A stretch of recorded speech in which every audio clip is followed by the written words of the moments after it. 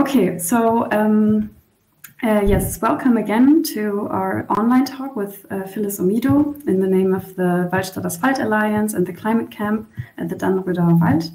We're really happy that you're here today uh, with us. And um, so, uh, yes, uh, unfortunately, there have been some technical difficulties um, with people at the Climate Camp, but hopefully they can join in uh, our discussion soon and then also participate uh, with questions and other things.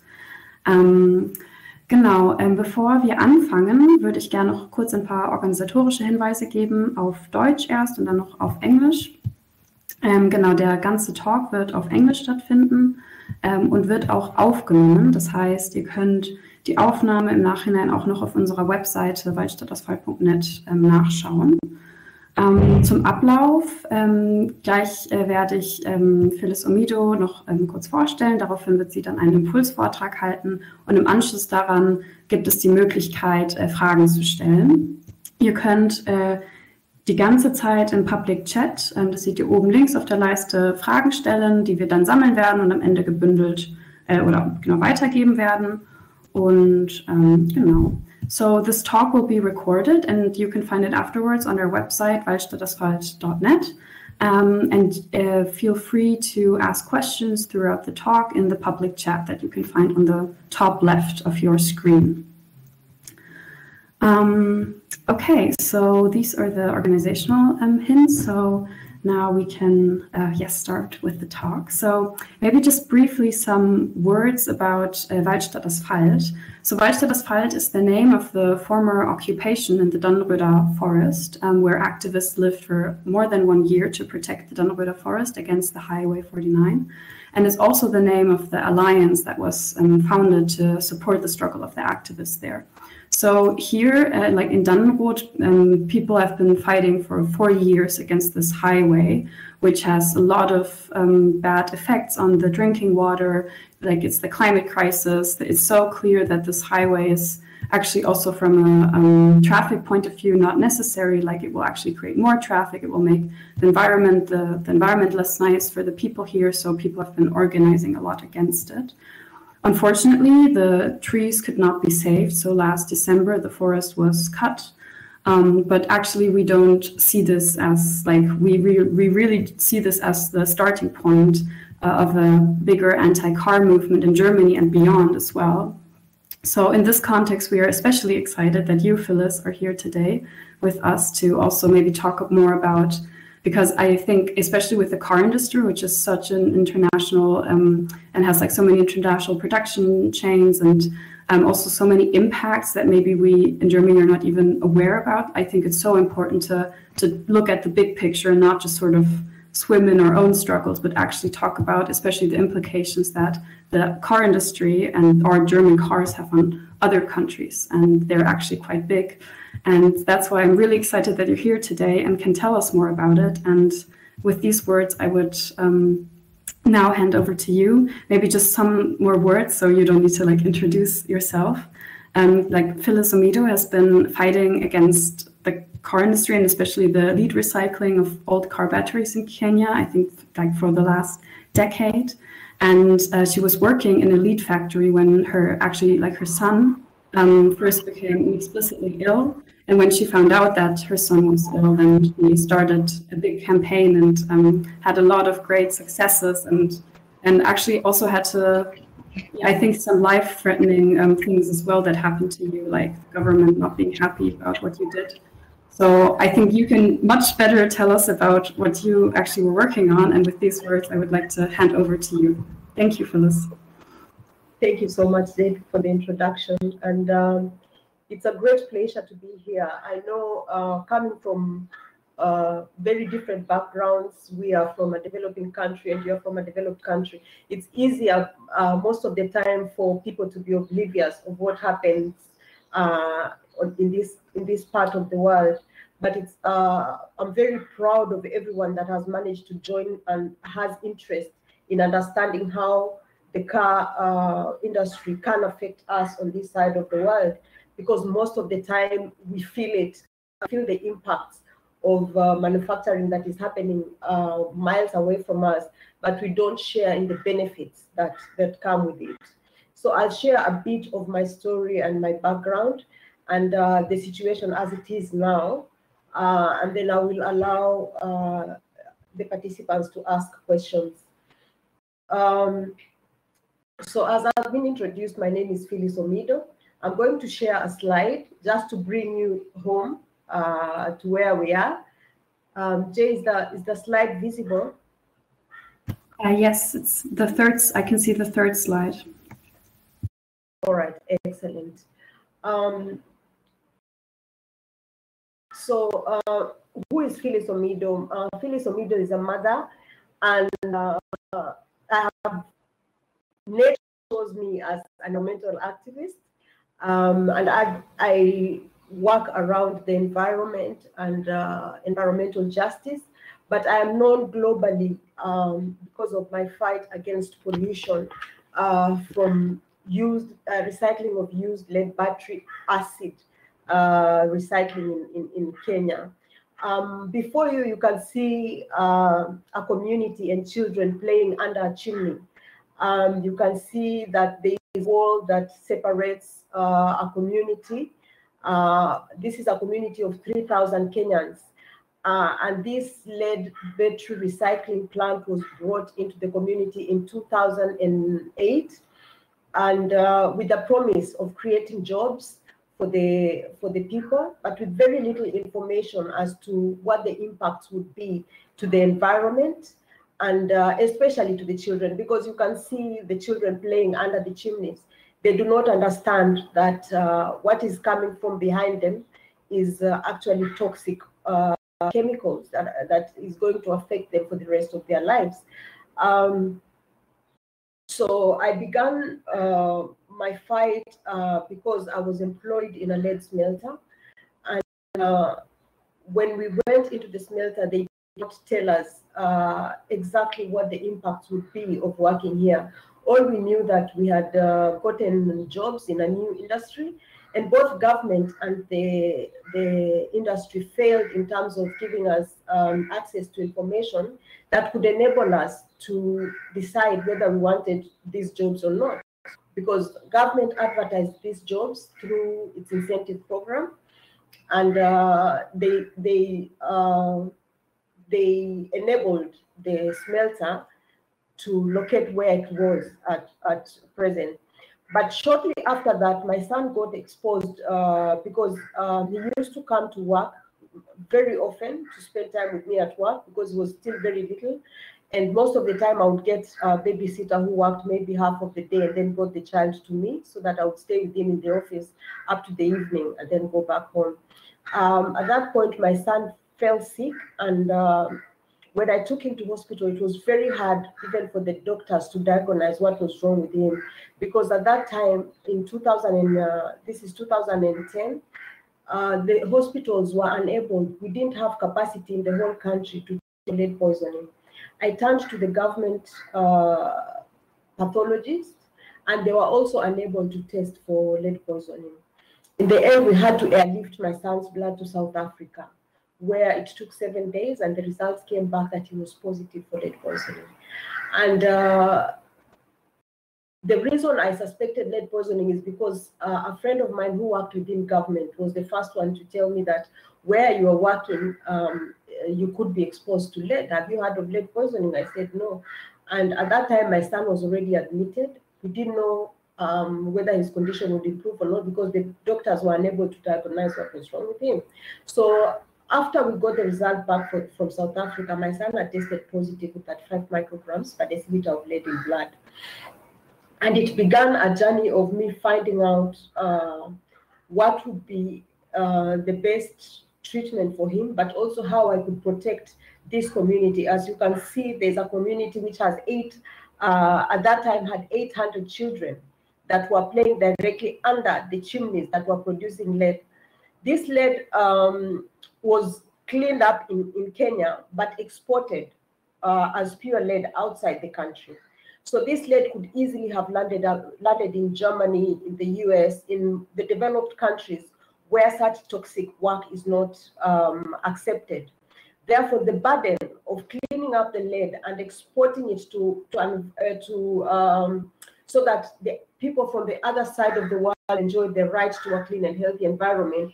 But the people in Owino Uhuru paid the price for the for the um, for the cleaning up of the lead in their in their community.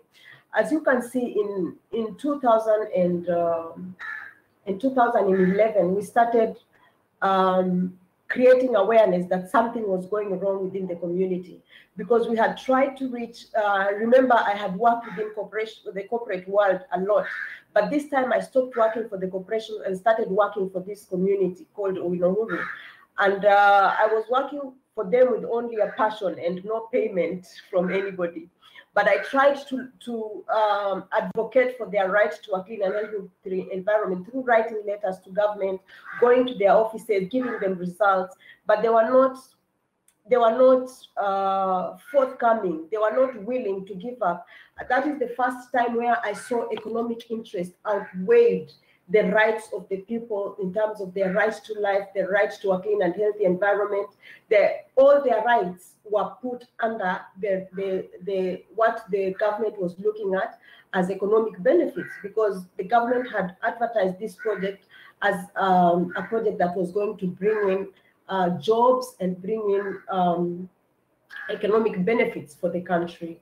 Uh, so in 2010, we started, I started running the community, uh, trying to force the smelter to move from where it was located. Um, you can see so many people joined us in the demonstrations because all of them have seen the effects of the lead in, in, in their community. We did uh, demonstrations, uh, trying to force government to listen to us to move the, this, this production of lead to a place where um, it was not very densely populated. You can see in um, 2012, you can see the police have arrested us. So uh, the police came after me, they tear gassed the community, um, uh, they arrested me and took me to court and charged me with inciting violence and illegal gathering. Um, uh, so the community, what the community sought to do was to defend their right to live in a toxic-free environment. They wanted, uh, because the, the Constitution of Kenya allows, uh, recognizes the right to a clean and healthy environment in Article 42.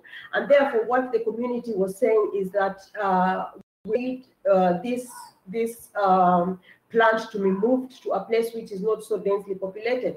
Unfortunately, government did not listen uh, after bundling us and, and, and uh, sending us to court and charging us with inciting violence, we could not do anything for the community for a whole, a whole year, um, actually until 2012.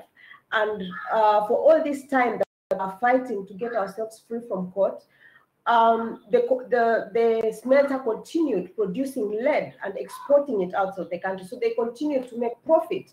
But at the same time, the community situation deteriorated so much because we had children dying. We had children who had very high lead levels.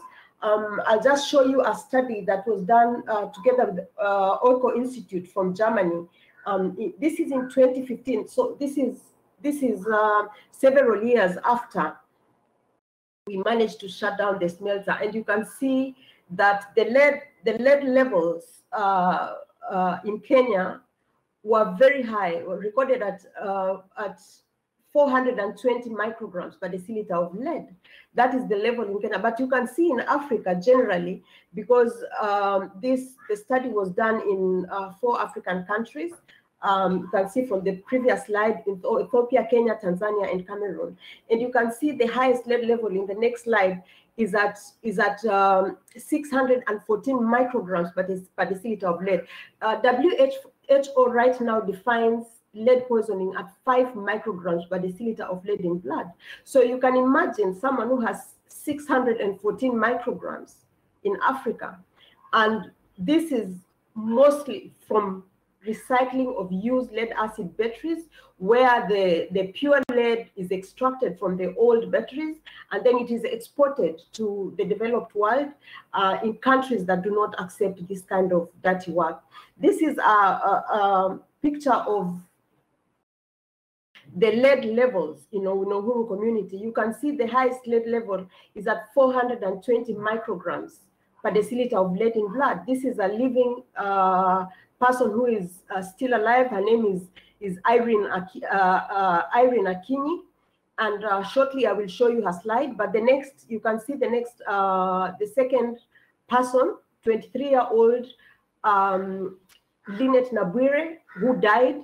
The third person there died. The fourth person there died. So we, we have lost uh, several of the people whose blood levels were very high in the community. So uh, when the lead is being produced, there are different uh, ways in which it gets into the human body. Uh, because lead is a heavy metal, when it's uh, released through the chimneys into the environment, it does not go up, it comes back. Uh, it lands the soil, it lands on the houses, it lands on the toys that the children are playing, it lands on the play playground. And this is how uh, the lead ended up um, into uh, being ingested by the children while they were playing through food, through water, while they were while they are they are playing. That is how they ingested the, the lead into their bodies. Um, this is a picture of a lady who is living now, uh, Irene Akinyi, the one who has 420 micrograms. You can see the state that she is in. Her thyroid is giving in. Um, her, her kidneys have stopped working. Her liver has stopped working. Um, I'll show you the next slide where she has she has um, uh, hospital documents where she has been uh, tested. So she has been left with a big burden. These pictures I took last year and uh, towards the end of last year. And she has been left with a very big um, health burden where she has to, uh, every day, every single cent that she gets has to go into hospital bills, um, taking care of her health to try and extract the lead from her body. But even if we manage to extract the lead from her body, remember that Irene, uh, her kidneys are gone, her liver is gone. So where does she get uh, where does she get money for all that? The next slide is of a baby. Um, his name is Sammy. Sammy was also exposed to lead poisoning uh, and died in 2018. Uh, the next one is Lynette uh, Nabwire Baraza. Lynette had uh, Lynette had desired. She married, uh, and at the time we did the test, she was 23 years old and Lynette had uh, desired to have a child, but because of the very high lead levels in Owino Uhuru, she had had three miscarriages. And finally, she managed to carry her baby to term. And when she carried her baby to term to nine months, that was in 2014, 2015. We had forced the smelter to shut down in 2014. And that's how she managed to carry her baby to term. But a few days after, um, after she gave birth, she died. And when we did her postmortem, it showed that the the blood the blood levels in a were too high that the intestines were unable to pump the, the uh, small intestines uh, normally into her body, and that's how she died from lead uh, lead levels. That is her coffin. Uh, this is Sammy's funeral as we went to to bury him, um, and those are some of the impacts the community poisoning uh, we have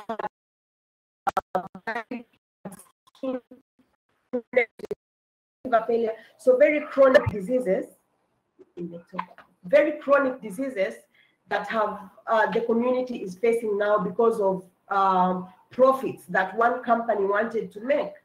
Um, I will speak a little bit about corruption uh, in environmental protection in Kenya, in Africa. This is one of the reasons why these industries uh, come to locate here because they realize that our environmental laws are very low and uh, our governments prioritize politics and capitalism over uh, the life and livelihoods of the people. And therefore, this has been one weakness within our system that has allowed such kind of industries to locate here. Um, the other the other issue is um, even though we have laws like Kenya recognizes the right to a clean and healthy environment, even though we have laws uh, in the books, but the implementation of these laws is is uh, mad in corruption. For example, uh, when we took this case to court in 20 in 2016, the, the court found that these people had had been given licenses by government. Government has facilitated them to receive licenses and before they had a premises where to locate their, their industry. So immediately they came, they paid money, and they were immediately issued licenses. The government did not understand um, the there was lack of understanding of the impact of what this uh, industry would have on the lives of the people. And we have seen years later the impact that it has had on the Owino Uhuru, um, in, the Owino Uhuru uh, community. There is very high corruption when it comes to environmental laws. There is uh, there is the, the uh, environmental activists that try to rise up to protect communities or to speak up with communities are met with judicial harassment, they are met with arrest, they are met with intimidation, and some of them are even killed for trying to protect or to try to stop these um, industries from killing people. So there is, uh, there is the, the government teams up with these industries and these corporations, and what they do is they they repress, violently repress any activists that are trying to rise up to raise these issues uh, because they are prioritizing the, the profits over the lives of the people. Now, I've shown you a slide. The last slide that I will show you is uh, of a court case, in, which of the same case, we took the case to court. And last year, we we won the case and we were and we were awarded um, uh, we were awarded 12 million 12 million US dollars as compensation for the community, and we were awarded seven seven million US dollars to clean up uh, the the community. So that is where the case is. I hope that I've managed to bring a picture to the to the participants today of how um, the car industry can impact uh, Africa if we do not join forces together. Because Phil is working from Kenya alone is not able to impact the industry, uh, the lead industry in, in Germany. And that's why we teamed up with institutions like Eco Institute in Germany, which was able to, to build our capacity and enable us to carry out research in Kenya. You have seen the research. We would not have been able to come up with those blood tests and soil tests and all that, but we partnered with a, a, a, an institution in Germany and we were able to come up with these results. And these results have helped us in court to access justice.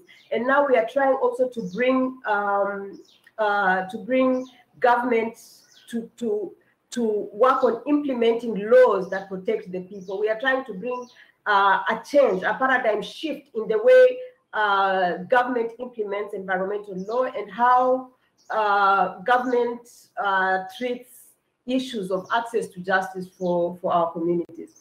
I think I'll end up there. I've taken about 30 minutes talking.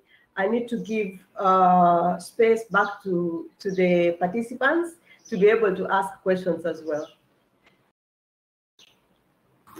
Yes, thank you so much, Phyllis, for this um, talk. Uh, I I'm feeling very impressed right now and just yeah amazed how much you did and um, also talking about the repression and the the threats you got. Like I'm yeah, I think I would love to talk uh, more about this. Maybe I I do have um, one.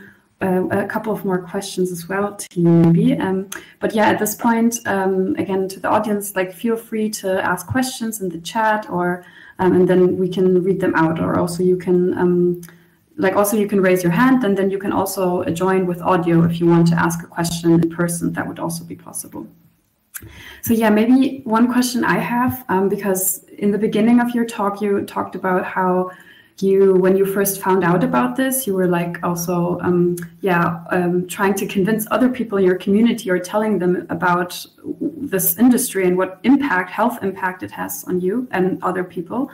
Um, so i was just wondering because i when i I read something and uh, about uh, your work, and it said that you had a much harder time convincing, especially the men in your community, because they were working in the factory. So I was just wondering about um, how did you actually convince the people to stand up with you? And is there like some kind of trick that you did? Or like what do you think is the the key maybe to this kind of successful um, campaigning that you did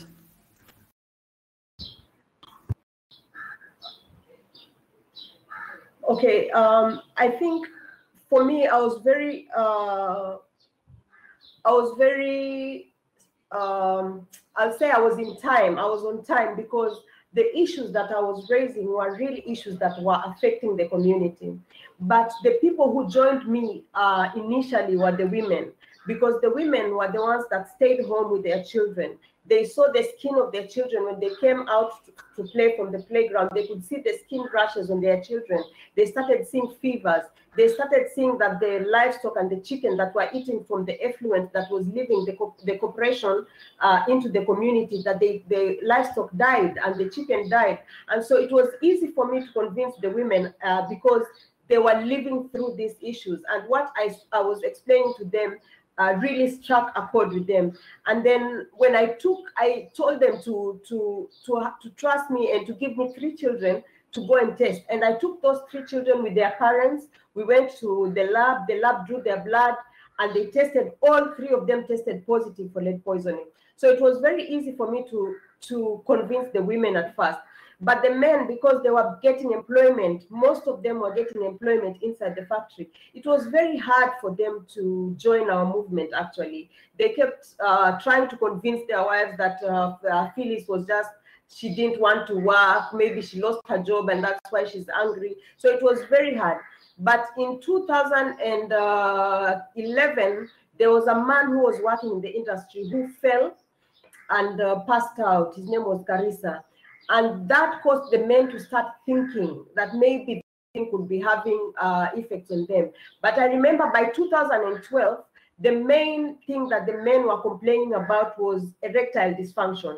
They were unable to fulfill their marital duties to their women.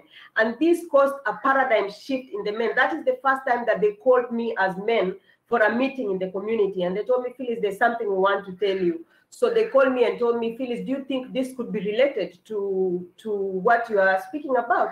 And when I confirmed to them, and actually I didn't go alone, I took a, a male doctor that was with me at that uh, and that male doctor is the one who explained to them the effects of what this industry was having on their uh, on their bodies, and that is how we got the men to join us very late in the very late in the movement. But uh, I think that is how I managed to successfully rally the community behind us, and that is one strength that we have had ever since. That um, even though people have tried uh, to go to the community to try and break the movement, to try and you know, to try and uh, disrupt what we are doing. But because these people have lived through the issues that we are talking about, it is not easy to convince them to um, to go against the, the movement that have uh, started in Owino Uhuru. Thank you. That's really fascinating, like really impressive. So like at this point, we do have some questions in the chat already. Uh, I have one more question and then I would like to open the room for people in the audience. Um, so one thing that really struck me when you um, were talking was also thinking about the protests that we were part of in the last year um, against the highway A49 and we were like building tree houses in the forest and we were you know the police came and they also arrested us and we also faced repression but not at all in the same extent that you were just talking about, like this, to actually be in danger of being beaten up or having death threats. And I also read that you had to go through some really high security after all your activism. And and like so i was just wondering about how how do you like deal with this? Like do you have some certain mentality or like how like because for me it's like really yeah. So far from my own reality, like doing activism. I don't need to expect this extent of danger to me if I do it. So I was just wondering, like, how how do you deal with this? Do you have some mentality that you that you have um, when you think about these topics? Uh, you know, uh, we are all human, and there's no human who is immune to to fear. So. Uh, one time I got home in the evening and there were gunmen at my and they beat me up really badly and they threatened to shoot me and my son. Uh, and uh, I, I escaped because one of my, my neighbors was coming home with his car and the car's headlights sh shined where we were, where I was lying down because they had hit me and I was lying down. And my son was screaming and they, I was very afraid because they were going to shoot him. And I remember after that, uh, when we escaped uh, and moved out of that place, we, we moved out that night. I went to a friend's place and we never went back to that house. Um, and for almost a year after that, I was afraid to sleep even on the bed. I would sleep under the bed. Uh, and I would always try to hide my son so much, even at night, so that if I would assume maybe someone will come with a gun and shoot through the window. So I would be very afraid most of the time. But um, every time they had, they had, I have found strength as I continue. Because at that time, my son uh, saw on the TV uh, when I was being arrested and thrown on the police truck, and the police were throwing tear gas and beating me up. And he, he asked me, Phyllis, uh, Mom, are you a bad person? I said, No, I'm not a bad person. Then he asked, Are the police bad people? I said, No, Papa, the police are not bad people. So, why he didn't understand why, if the police were not bad and the mom was not bad, why the police were treating his mom like that. And so, for me, that made me want to prove so much to my son that what I was doing was not a wrong thing. He's now, he just turned 15 this month, 15, uh, 15 years this month. And now he understands the reason why I was standing up. He's very passionate about the work that I do. And so uh, that gave me a lot of strength throughout the years. Uh, he finally had uh, me speaking at a public meeting. I think it was uh, about last two years ago when I came to Germany and he had me tell the story of how he was he was exposed to lead poisoning and what has led to this. And uh, for me, the journey and what we have achieved is not only in terms of the work that we have done, but the the fact that my son also realizes that I needed to protect him and I needed to protect the people in Uhuru, and that uh, the communities had their rights and those rights needed to be protected. That has made me get strength every day to wake up and continue my work. So I thank my son so much because from the beginning, it is uh, my love for him, my passion to protect him that has really driven me even to overcome fear. But that does not mean that I've never been afraid. So many times I've been afraid. So many times I've had to go into hiding. Uh, even when we won the court case um, and the, there was heightened threats people went into the Unohu community. We they burnt 15 houses were burnt because we won the, the court case. You know, uh, they are trying to intimidate the community. They are trying to make them uh, flee so that the community will break up. Because if the community breaks up, then we don't have a community co to compensate, and they can win at the appeal case. But um, many things throughout, there has been different triggers that have helped me to get through. Sometimes it has been friends uh, that just told me keep going.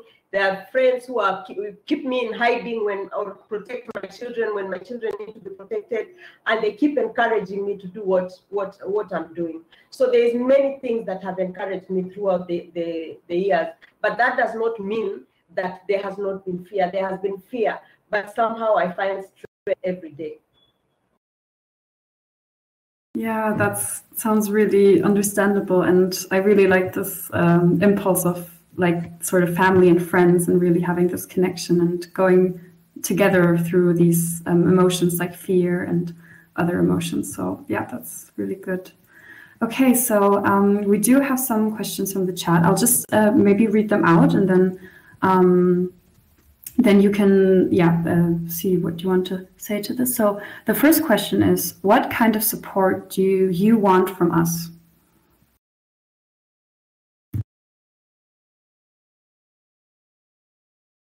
All right. I think i'm very grateful especially to the german public because we have had so many so much support from germany.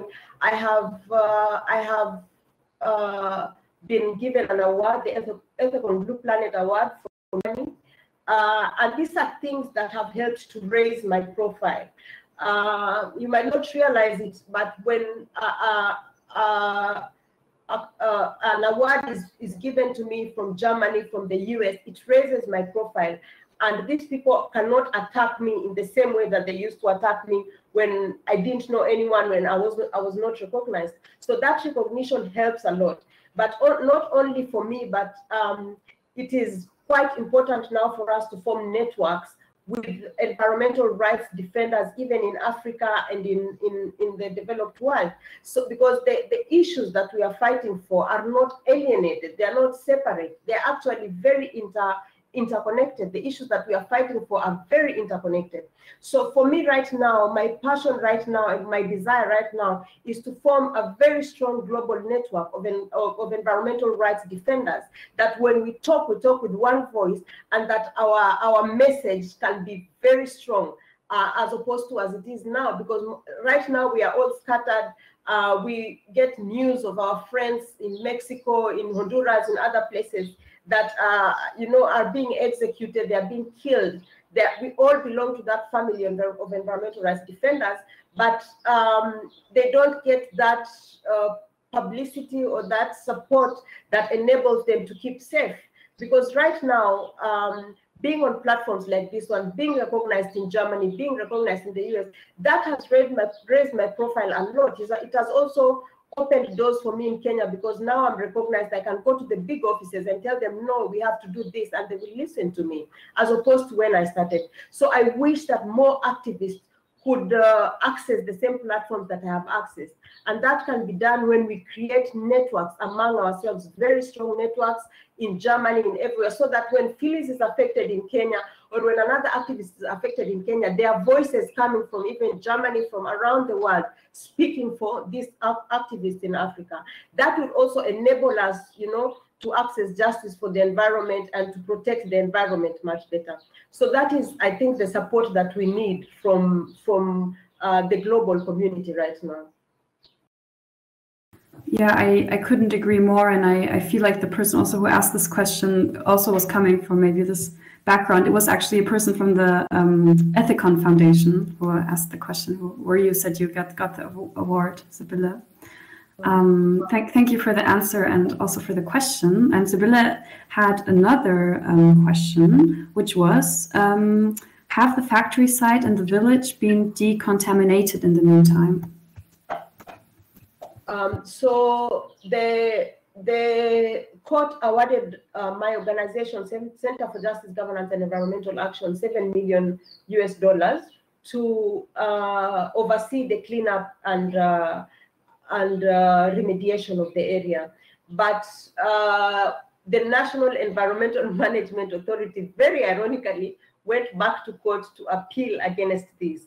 So we are back in court right now, uh, fighting to uphold the judgment of the Land and Environment Court. So, so far we have not managed to get the funds to clean up, but we are uh, fighting in court. And as soon as we finish the appeal, we will uh, process uh, execution documents so that government and the corporations can give us money so that we go back to the community and clean up. It's very long overdue. Um, in, in, in, a, in, in a more just society, this should have been done without us going to court.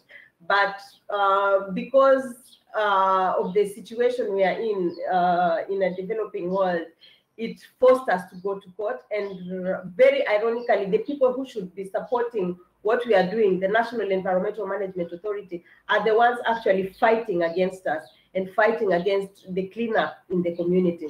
So that's where we are. The community has not yet been cleaned up, but as soon as the court case um, is done with at the Court of Appeal, I believe we'll be able to do the cleanup for the community.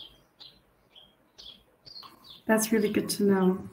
Um, so Sibylle has one last question, which is, um, what do you think of e-mobility, electric mobility?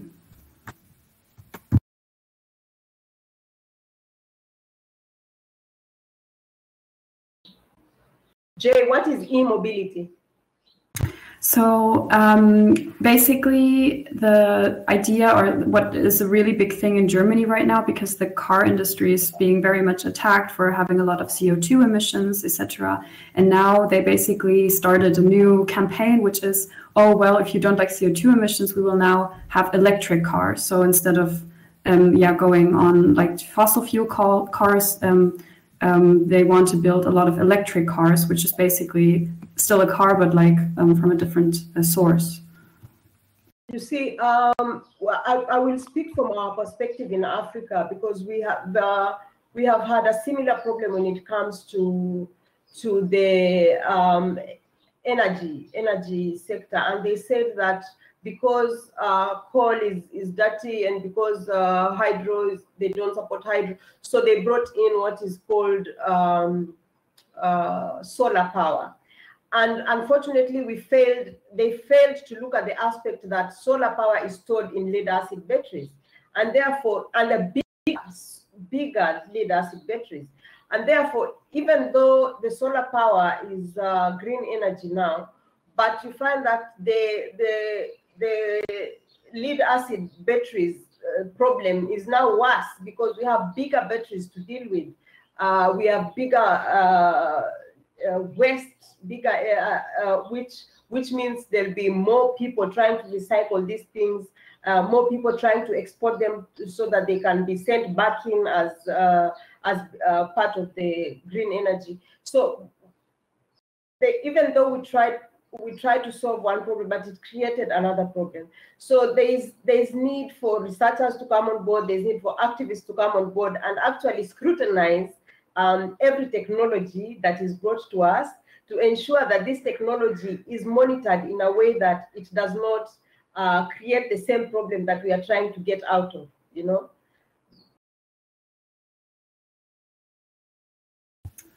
Uh, yes, uh, absolutely. And also, I think there were so many problems with um, like electric cars, like different problems to fossil fuel, but more like how also where lithium, I think that's the name of the material that these batteries are made of. Um, it's yeah, it's very has some really bad environmental and social implications for a lot of like countries in Latin America as well, where this material is coming from. So also, yeah, not not as simple as that. Uh, so there's a new question. Um, so the question is Would you consider yourself anti capitalist? Or maybe I read out the second one as well. How do you feel towards white German people who do almost no action to stop the German companies in Germany, even if we have opportunities?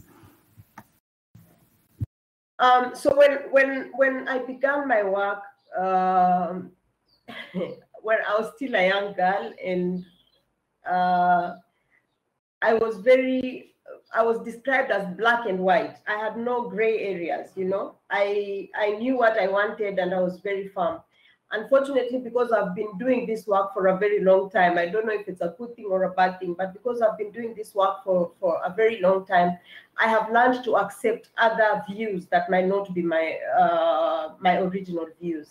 And therefore I cannot say that I'm anti-capitalism because uh, we need in Africa we need we need industries we need we need our people to grow. We need food. We need a lot of things you know.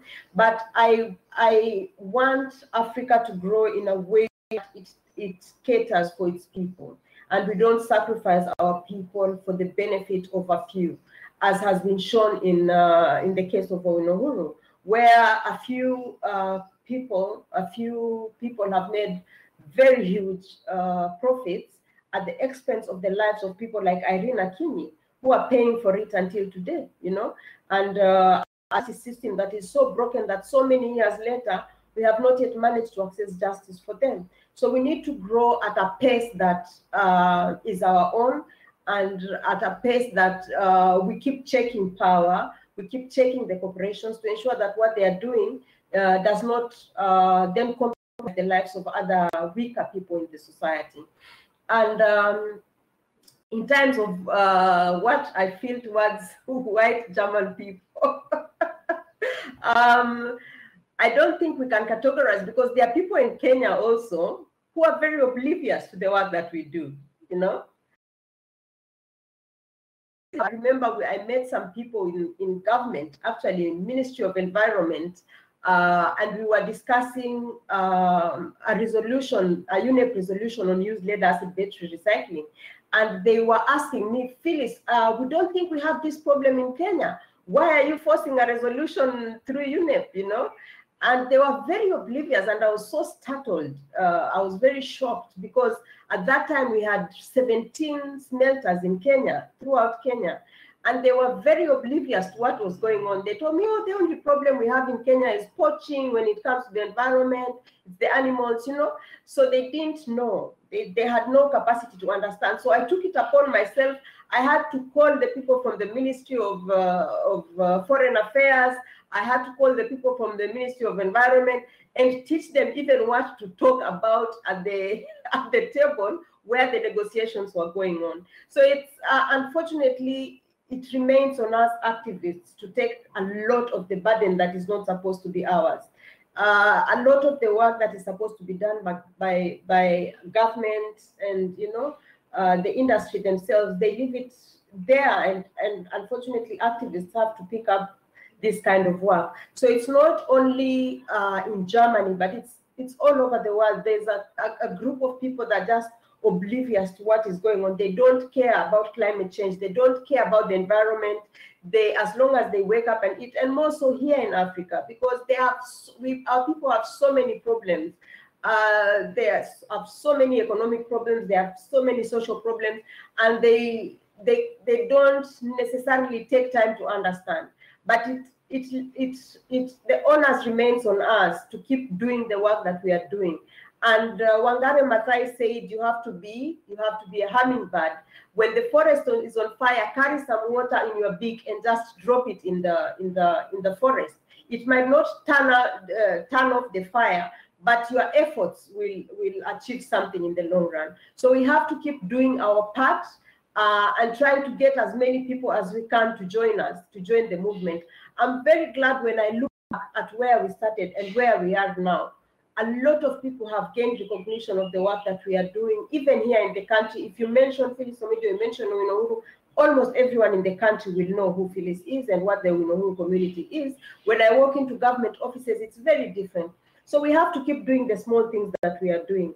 And in the long run, we might not see the fruits, but our children and our children's children should inherit a better world than uh, what we have we have created for them today. Absolutely. I really like the metaphor with the forest and the honey. Like, I, will remember that. Um, so, I have one more question, maybe. Um, also, I think we have time for one more. Um, uh, we have 10 more minutes. So, if you have more questions, feel free to put them in the chat. Uh, there is actually one. Um, so, yeah, maybe I'll, I'll, I'll, ask the question from Sibylle again um, first. So the question is, um, you founded an NGO. Um, what is your main work today? All right, we have a lot of work that we are doing, uh, but mainly we partner with communities.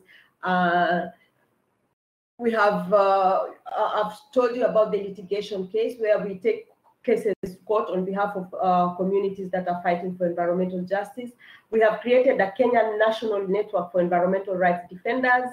And uh, we have managed to bring on board partners like the UNEP and OHCHR to support grassroots environmental rights defenders.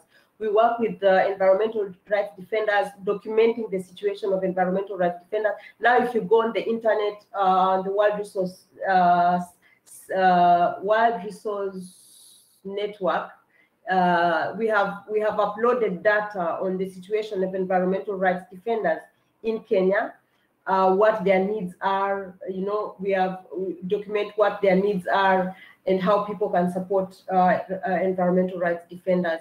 We also have uh, have programs that we run on a day-to-day basis. Our organization is small. I have eight staff.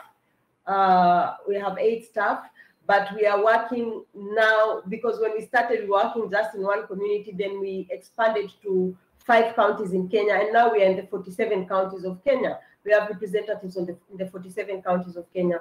So we do uh, work mainly. Uh, our, our, our mission is um, to ensure that we raise a generation that understands, respects uh, the, the right to a clean and healthy environment because it has been very hard has been a very tough journey, even getting people within government, within uh, the, the, the, human rights movement to accept the right to a clean and healthy environment as a right, even though it's assured in the constitution. So we do a lot of work. Uh, maybe um, uh, Jay will share the link, or I can share the link uh, afterwards. uh, to our website, and then you can look a bit more to see the work that we are doing. But we are doing so much work uh, around uh, the right to a clean and healthy environment in Kenya. Absolutely. I'm happy to share the link in the chat just now. Um, so there's, uh, yeah, one more, maybe even the final question. Um, so the question is, what do you think is the best way to get out of the situation? What kind of steps need to be taken? What kind of solutions do you see besides the cleaning? And is there any healthy way to produce and recycle batteries? the right now we are we are asking, uh, especially from the developed world, the learning institution, to do more research in uh, recycling of lead acid batteries because so far there is no technology that we have seen globally that is able to do this in a clean way that does not uh, affect the environment. The other thing is then there should be very stringent monitoring when doing the production of lead uh, acid batteries because we also do not want a situation where people are keeping batteries inside their houses because that also will end up uh, uh, getting the children and their houses contaminated with, with lead. So um, we still have to have a place where these batteries are taken. But there has they have to be done in an environment that is very strictly uh, controlled so that they keep all that uh, contamination within that same environment. And there has to be measures that protect the workers and uh, the testing of the workers, their blood and all that has to be done very, very closely. We are monitoring the, the existing industries in Kenya that are doing this work to ensure that they are doing this for the, the workers and that they are not uh, polluting the environment so much uh, like we saw. We ended up closing, um, I think, 17 factories in Kenya uh, that were doing this work because we were not satisfied with the, the way the work was being done. The technology that was being used in, uh, in Kenya is very old, very archaic technology where they were still breaking these batteries with their hands and hammers. And uh, it was very dangerous for, for the people. So far, there is no, I've not seen uh, a technology that has been safe we have worked with communities in Australia. We, have, we are in touch with communities in the US that have all been affected uh, because of lead acid battery recycling. So, so far, I don't think there's a safe way to, to do this work. Um, and the solutions beside cleaning, there is no solution besides cleaning. We have to remediate. We have to remove the soil uh, in the community. We have to remove the, the lead from the walls, from the iron sheets, because remember, when it rains now, the, the community will tap the, the water from the iron sheets and they'll drink this water. So they are drinking in lead. And so the, the, the, the, the community is, is a very highly toxic place. So there is no other way except for us to remove those iron sheets, put new iron sheets, uh, scrape the walls and put new um, cement on the walls and then remove all the soil put fresh soil and then plant uh, uh, vegetation and trees that will help absorb uh, or any any other remaining elements and that will help to clean uh, the soil that we put in to ensure that um, the environment is restored to what it was before. But um, I think that is the only solution we have with us uh, at this at this time. Uh, what kind of steps can we take um, to get out of this situation. I think we have taken the steps that were were open for us because the first step we took in 20, um, 2015 was to do a petition to parliament. We did a petition to Senate. We tried to create a task force through parliament that would address this issue. We were unable to do that. Then we went to court. So I think we have done everything that is possible here locally to address this issue. Globally, though, there's a lot more that can be done. Uh, we are partnering with so many people internationally, uh, especially now in terms of uh, helping the communities to document their situation. Uh, there are many communities that are fighting the same issues that do not have access to uh, testing. You know, there's gaps in terms of collecting evidence of what they are saying, just much as we did. So there is a lot that we are doing with the international NGOs and international um, partners uh, in terms of assisting the communities also documenting, collecting evidence, and uh, you know creating uh, a case for themselves in, a, in environmental justice. I think uh, I've tried to answer almost all the questions. Absolutely, and um, thank you. I, I, do have one more question actually, which just came up, and it's uh, important uh, to me. So I remember reading that your um, book with the rage of a mother um, was published in German only, and I was wondering if you could say some more words to what you think is the connection between the German car industry and lead recycling in Kenya. Um, Germany has the, I think, the biggest uh, car industry globally, and uh, we have many cars that are brought in Kenya also from from Germany. A lot of uh, you know BMWs and these you know big cars that people want to drive the German machines in Kenya. So for me, um, I believe that if we learn, if we did if we did the first book in Germany, uh, it would have an impact not only on the car industry but also in Kenya, where you know there is a group uh, we have said there's a group of people who are way high up. They don't realize that the German machines and all this affect them. But if they hear about this, they read about this from Germany coming to Kenya and its effect, we are able to reach uh, a very big, a very wide audience, not only in Germany, but also in Kenya. But also I wanted to have some kind of impact on the on the car industry in Germany and create an awareness in the German public because the only way the car industry will will uh, try to streamline its practices is when the public is aware. Is when the German public starts talking about these issues. When activists are rising up and saying, "No, you have to uh, look out on this issue," and when Germany takes the lead in these issues, then the whole globe, the whole the whole world uh, will take will take uh, will take uh, action on this issue because Germany is a leader when it comes to uh, the car industry globally. Thank you, um, Phyllis. Uh, yeah, that's that's really inspiring. And I have not read your book yet, but I will definitely read it now. um, so this book was published um, last September, uh, in September 2019, and yes, it's called "Mit der Wut einer Mutter" in German.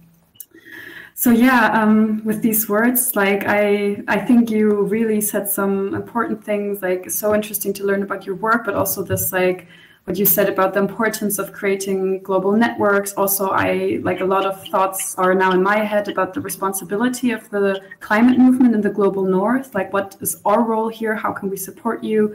Like, how can we, yeah, not sort of or focus too much on our own struggles, but also like always see it in a bigger context and yeah, be be clear about our responsibility that we have here as well. Like, I think yeah, you said some really inspiring things about that. So I would love to stay in touch and create this global network or be part of that.